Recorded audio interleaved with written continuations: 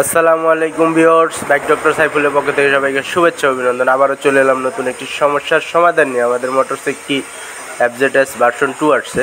বাইকটি চলছে মাত্র, আপনারা দেখুন, মাত্র দশ হাজার ছয় কিলো। তো বাইকে দেখুন, আপনারা তিন দাগ তেল আছে। মানে পর্যাপ্ত পরিমাণ তেল আছে, তো কিন্তু বাইকটি স্টার্ট হচ্ছে না। মূলত এই সমস্যাটা নিয়ে আসছে। তো এখন আমরা বাইকটি খোলার পরে যে সমস্যাটা পেলাম, আপনারা একটু খেয়াল করুন। এই যে আমরা এখন সেলফ মারবো, দেখুন।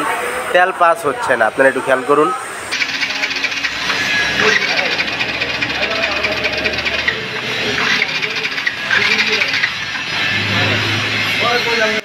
তো ভিউয়ার্স আপনারা দেখলেন, বাইকটিতে তেল পাস হচ্ছে না। মূলত চাবি অন করার সাথে সাথে তেল আসবে সেলফ মারলেও তেল আসবে। তো এই গাড়িটায় তেল সাপ্লাই হচ্ছে না। তো এখন আমরা ফুয়েল পাম্পটা খুলে নিচ্ছি।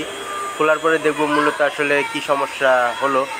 তো এটা অনেকেই ভাবে যে হয়তো ফুয়েল পাম্প চলে গেছে বা মোটর নষ্ট হয়ে গেছে। তো আমরা এটা খুলে দেখব মূলত এটার ভিতরে কী সমস্যা হয়েছে। এটা আমরা খুলে নিয়েছি।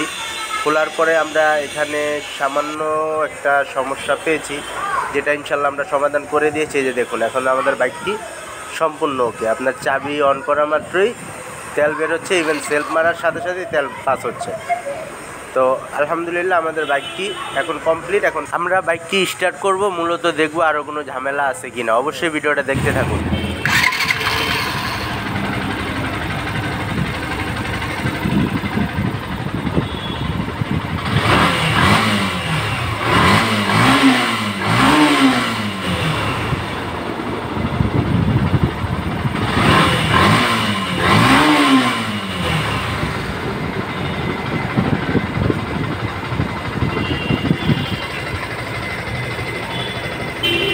তো ভিউয়ার্স আমাদের বাইকটি পরিপূর্ণ ওকে আমরা এখন বাইকটি টেস্ট ড্রাইভ দিব।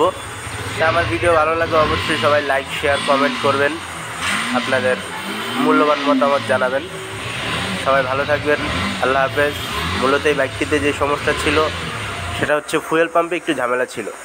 ওকে আল্লাহ হাফেজ।